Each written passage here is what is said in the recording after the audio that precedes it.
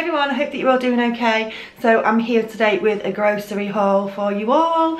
I've not done one for ages and I've been to Asda this afternoon because I needed to get some bits.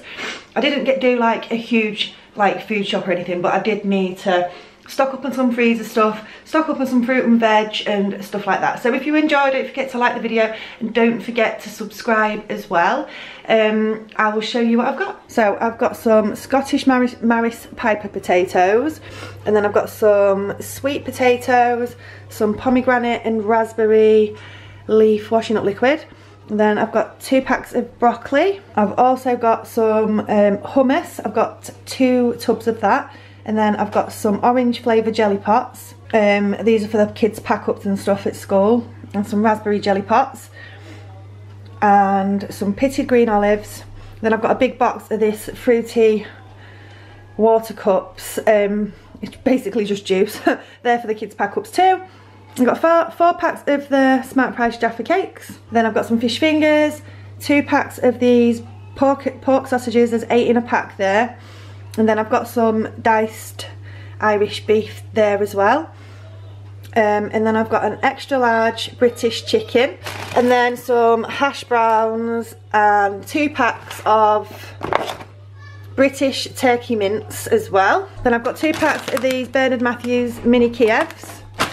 Oh, and some onion rings, baby leaf and rocket salad, um, a pack of these sweet clams there is quite a lot in there. And then I've got some chocolate chip cookies and then I've got a Slim Zone Thai green chicken curry.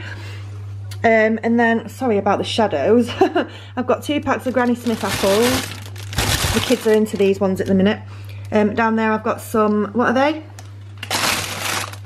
And down there I've got some uh, mixed peppers, some choco squares, and then I've got three packs of hula hoops think these are like three for a pound, three for three pound, I think it is.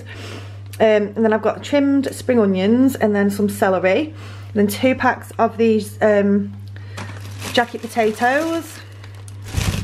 And then some baby plum tomatoes. And then these are for the kids pack up too. I've got some apple slices, so I've got four packs of those.